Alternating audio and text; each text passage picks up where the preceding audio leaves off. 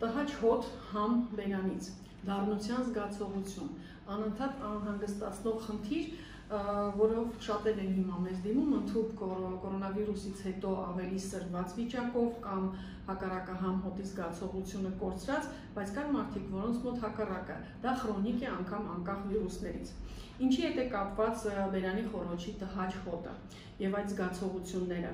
Տեսեք, եթե դա ուղակի հոտ է, կարող է լինել ինչպես բերանի խորոչում, ատամնաշարի, լնդերի բորբոքային process-ների հետևանք, այնպես էլ ավելի խորքային նշիկների շրջանում մշտական թարախային մնացորդների սննդի կուտակման հետևանքներ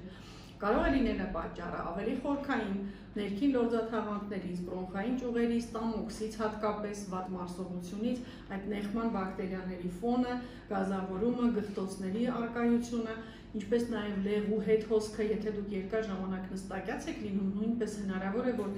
ռեֆլյուքսային վիճակներ տա դեպի ստամոքս լեղին եւ դառնությունն էլ հետը զուգակցվի նաև սրտխառնոցներով։ Այստեղ գործ ունենք ավելի խորքային մարսողական խնդիրների հետ, որոնք եւս անհրաժեշտ է ճիշտ հայտնաբերել եւ ճիշտ բուժման ընթացք տալ, որպեսզի տհաճ հոտը վերանա։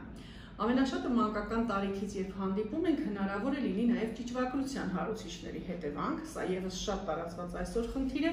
եւ ճիճվագրության հարուցիչները, ինչպես գիտեք, ասկարիդոզները, լյամբլոզները դրանք լեղուղիներ, մարսողական տրակտ, նաև միգրացիա ունեն արյան հոսքով դեպի թոքեր, բրոնխներ, կոկորտ եւ հետոնոր կերակրափով եւ այս ամբողջ ճանապարհին նույնպես նեղման ագրեսիվ process-ներ են սկսվում, այլ բակտերիալ սնկային հարուցիչներ են ակտիվանում, որոնց արգասիքները բնականաբար կարող են առաջացնել նման տհաճ զգացողություններ։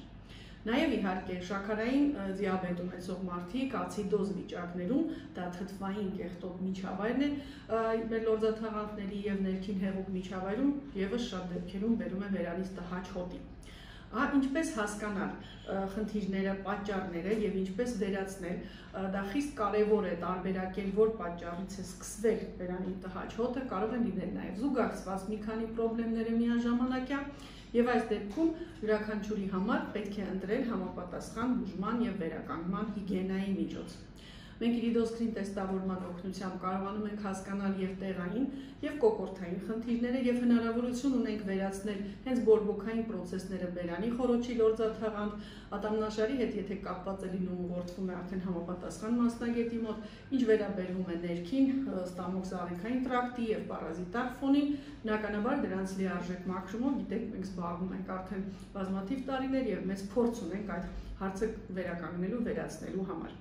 Այնպես որ իմ սիրելի հետևորդներ, անպայման փորձեք հասկանալ այդ տհաճ զգացողության պատճառները որտեղից են սկսվում, ինչպես վերացնել եւ ինչպես հաճելի լինել զրուցակցի համար եւ ինքներս մեզ համար, որտեղ դա իրականում բավականին լուրջ էսթետիկ եւ նյարդահոգեբանական վիճակ է ստեղծում այն մարդկանց մոտ, ովքեր տարապում են նման խնդիրներով։